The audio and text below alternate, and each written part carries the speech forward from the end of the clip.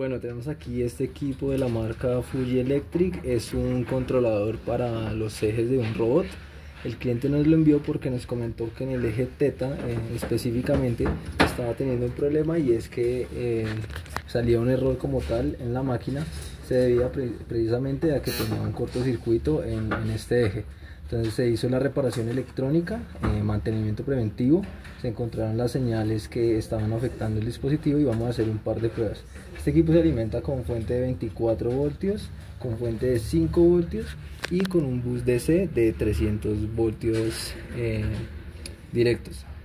Adicional le estamos conectando en la bornera donde se conecta la resistencia de frenado un, tres bombillos en serie para simular la resistencia de, que tienen allá instalada. Entonces vamos a empezar alimentando el equipo con los 24 y los 5 voltios.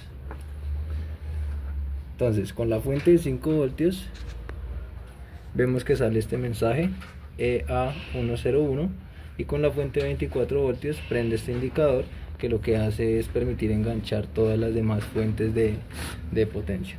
Ahora vamos a energizar el equipo eh, con 220 voltios alternativos a un rectificador que nos genera un bus DC de 300 voltios. Vamos a alimentar el equipo. Ya está el equipo energizado. Para verificarlo vamos a ver acá en el multímetro que tenemos casi 300 voltios en el bus DC, lo cual es correcto. Ahora vemos en la bornera de la, del frenado que no hay voltaje, lo cual es correcto también. Entonces ya con esto podemos decir que el equipo queda listo para pruebas en planta.